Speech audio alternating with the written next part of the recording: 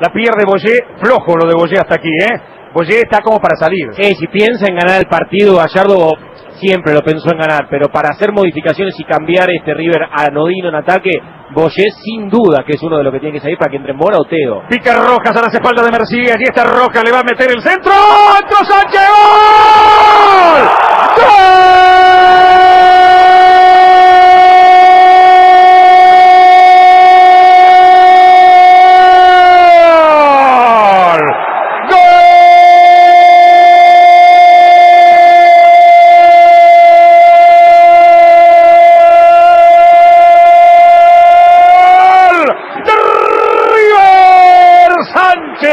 Si hay un verdugo en los últimos tiempos para San Lorenzo de Almagro, ese se llama Carlos Sánchez.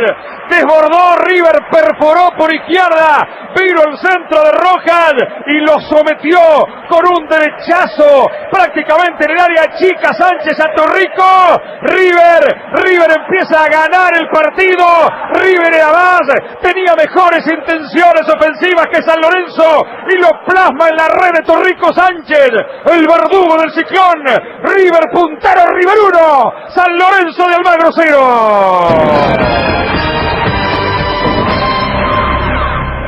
Puso cuatro titulares en el equipo Marcelo Gallardo. Bueno, dos de ellos construyeron la jugada del gol de River. El mérito de Sánchez, de llegar siempre con aire entero a posición de gol. Esos mediocampistas de recorrido, pero que cuando pisan el área lo hacen con autoridad y que vuelve a validar que es uno de los mejores mediocampistas del fútbol argentino. Y la precisión y la lucidez de Rojas. A San Lorenzo le hicieron el gol que menos habrá imaginado Bausa, un pelotazo largo, anunciado, que no pudo controlar la defensa, la diagonal de Rojas, lo dejó cómodo para soltar el centro y también llegó bastante suelto de marcas. Carlos Sánchez a la definición, se durmió en una San Lorenzo, no lo perdonó River. River San Lorenzo, Rosario 18, Boca 17, Belgrano 16.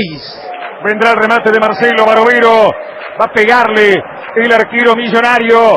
Viene el centro. Ha ganado River. Ha terminado el partido en el Estadio Monumental. Ha ganado River y ha ganado bien porque ha sido mucho más que San Lorenzo globalmente analizado este partido. Esa imagen del final mostró a un San Lorenzo ambicioso.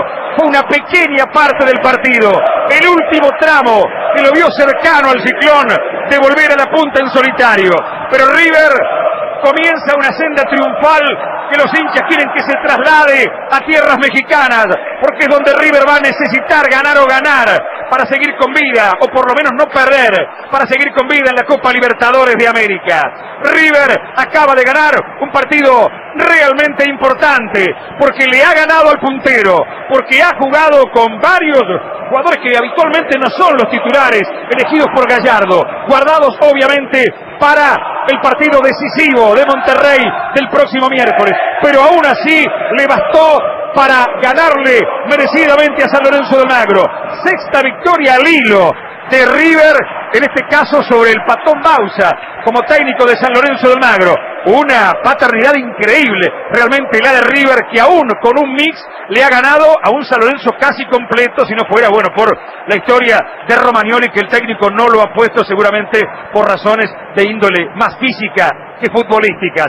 Ha ganado River, le ha ganado bien a San Lorenzo de Almagro. Usted lo ha vivido en Nacional. Rostros alegres del público de River cuando se conjuga victoria y buen juego por momentos. Ganó River, también es puntero, hasta que comience a jugar Boca y vea si puede ganarle a Huracán, con Arregui, con Álvarez y con Gustavo Ger